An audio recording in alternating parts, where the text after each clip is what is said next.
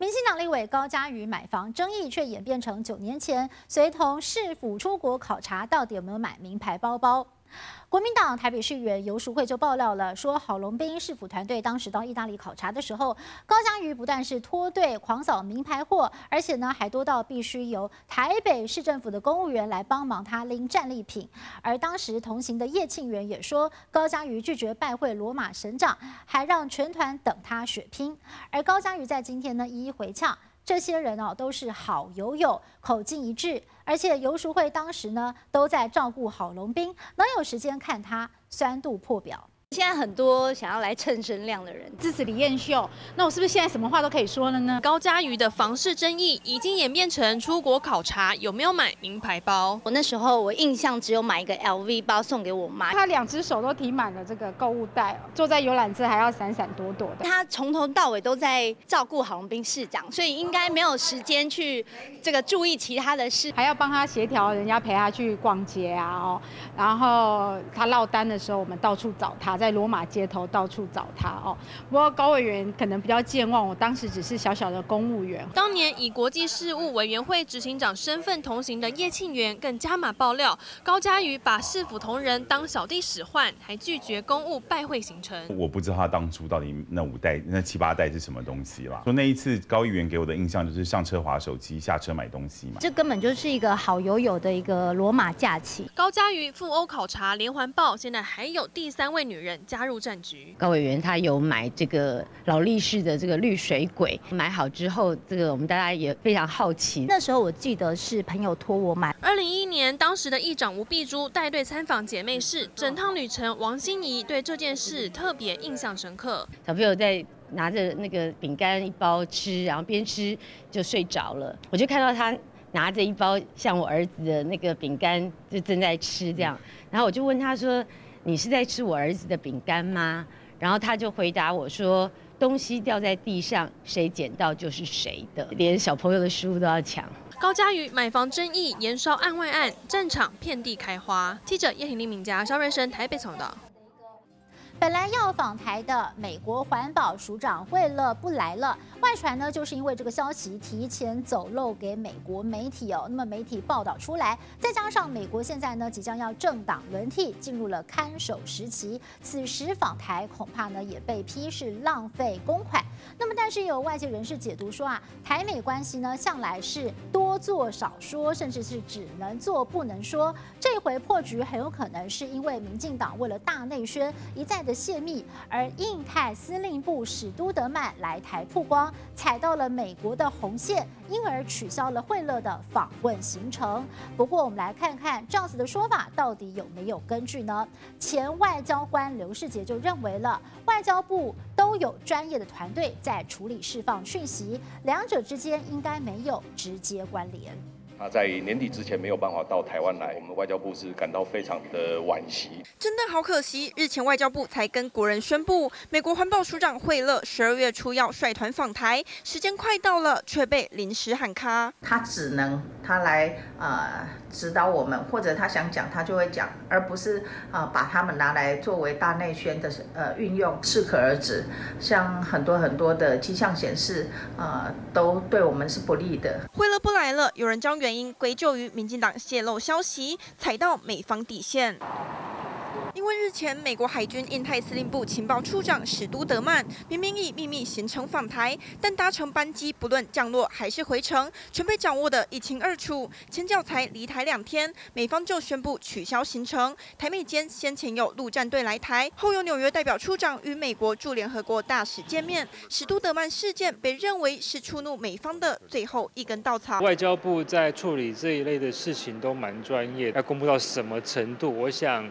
这个部分应该都是行之有年，在这个时机点，啊，大家在忙着交接，你花这么多钱来到台湾，过两个月之后就要改朝换代了，那有没有这个必要性？美国政党轮替前，惠勒取消访台原因各有看法，但美台关系过往都是多做少说，民进党策略是对是错，留给外界诸多解读。记者陈黄伟才台报道。两岸的紧张局势持续升温，外传中国大陆制定了台独顽固分子清单。国台办也在昨天首度证实，说极少数的台独顽固分子长期以来挑动两岸对立，强调这笔账是一定会清算的。但是陆委会也反批，这是北京当局恫吓台湾接受一国两制的手段。那么政府必要的时候呢，也会采取反制作为。但是要如何反制呢，并没有说明。立委就猜测了。顶多只能够从拒绝两岸进一步交流方面来着手。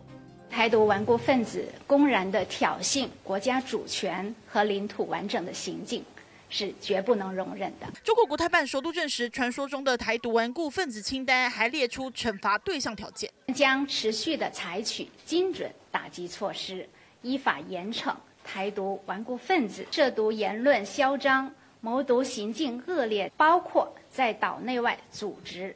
策划、实施分裂国家活动的首要分子及其金主，批评极少数台独顽固分子挑动两岸对立，没点名特定人士，但强调这笔账一定会清算。陆委会痛批北京当局干扰台湾社会。我们呼吁对岸应该立即停止挑衅，采取必要防卫反制作为，是形势的发展。积极演绎。国外人士也研判，中共还在认知作战阶段，相关反制措施政府都有眼底。只要对岸一公布台独顽固分子清单，我方一定会反制。但能怎么反制呢？几乎是冰冻的这个气氛的情况下，唯一的就是说，比如说如果要继续开放航点、加大交流这种往来的话，我方如果要反制，可能就只能从这一方面去做。台湾要如何反制？官方没说明。立委猜猜猜，一份台独清单再度挑动两岸敏感神经。记者赵报道。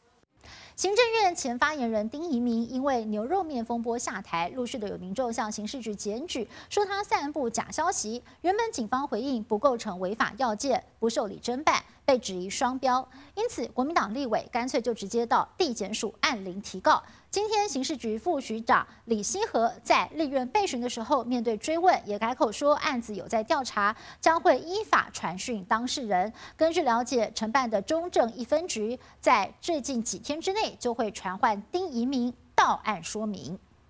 被炮轰下台的行政院前发言人丁仪明乌龙点名冠军牛肉面使用来牛，更陆续被民众检举散布假消息。行政局十五号说丁仪明有及时澄清和假讯息的本质不同，所以不侦办，就被外界炮轰双标，惹得国民党立委立刻到北检按铃提告。事隔到现在一个多礼拜了，案件到底办了没？你有调查吗？我们这个案子已经在调查了。有在调查吗？有在调查，有了有了。调查结束了。传讯没有没有，还现在传讯相关的当事人。有传讯吗？现在在传了，有传丁一鸣吗？有有在真的。有没有传丁一鸣？呃，这个部分都会。什么时候传丁一鸣？告诉我。行政局副局长被立委频频追问，大改之前态度，强调一定会依规定传讯。什么时候可以传？一个月以内总可以吧？他已经侦查动作已经。已经动作开始了。承办的中一分局警方在这几天就会传讯丁怡明，一共呢会传他两次。如果丁仪明都不肯配合，整个案件就会移交给北检。但要是丁仪明连地检署都不去，最后就会被发拘票通缉。据了解，北检接到蓝营立委提告丁一鸣违反食品安全卫生法和散布假消息之后，就立刻指挥辖区分局侦办。到底卸下正月发言人职务的丁一鸣，接到传唤通知书之后，会不会乖乖配合？外界都高度关注。记者张彤、李敏洲台北采访报道。新北市板桥音乐公园从前年开始新建地下停车场，原定在今年的四月份完工，但是延期到现在仍然没有开放使用。原来施工团队挖到了民国六十年开幕的大同水上乐园的建筑旧址，这里可是很多老板桥人的回忆。不只是挖出了摩天轮的地基，还挖出了昔日的万人游泳池。虽然说呢工程因此延长了，但是市府说停车场工程已经完工了，预计年底前使用执照就会发下来。那么就会开放民众使用。风雨广场还有共融式游乐场三公顷大的新北市板桥音乐公园开工两年多过去，周围仍布满围篱，民众看得到却玩不到。你可能很难相信，这里迟迟无法完工的原因之一，竟是挖到了旧乐园。泥土堆下隐藏着四根大柱子，再往旁边一看，浅蓝色的地面加上瓷砖墙面，这不就是游泳池吗？原来这里是许多老板桥人的旧回忆——大同水上乐园。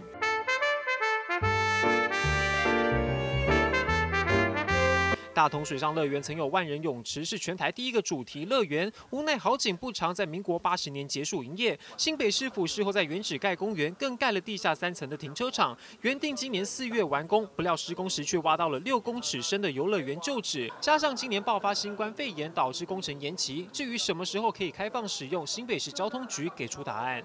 在开挖的过程哦，有发现那个前大同水上乐园哦，它的一个旧有的这个泳池，十二月底哦一定会开放民众让大家来使用。就是你滑水道嘛，那个摩天轮啊，来了五六次。新建地下停车场这一挖却挖到了旧乐园，民众的美好回忆也纷纷被挖了出来。现在只期盼改建的公园和停车场能够赶紧开放使用，别再让他们望梅止渴。记者陈长张世奎新北市报道。看准了一个月之后的耶诞节商机，台中 Outlet 卖场的耶诞大战提前开打。后里力宝 Outlet 欧式建筑装点耶诞造景，民众不用搭飞机，同样有出国的 feel。而今年呢，还规划盛大的游行，邀请大家来场耶诞嘉年华。另外是台中港的三井 Outlet，则是颠覆传统，打造南半球的热带耶诞节，陪大家欢乐过节。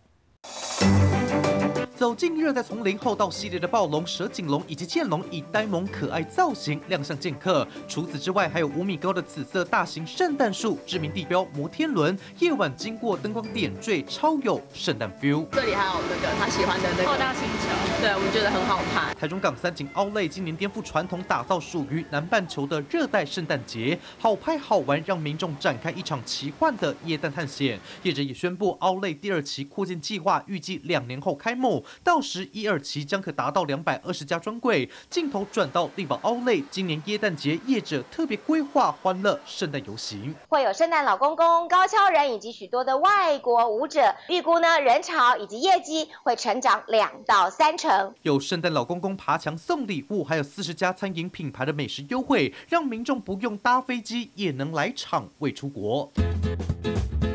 其实看好台中消费潜力，大型奥莱卖场都不在过于拥挤的成熟商圈，而是到蛋白区展店，连好事多北台中店也一样，锁定台中人一站式的消费习惯，一次满足吃喝玩乐。再加上一般人出门都以开车为主，三大品牌更主打腹地大、好停车、交通方便。如今还有终结加持，中部零售卖场朝向多点开花发展，后市可期。解江洪东山探到。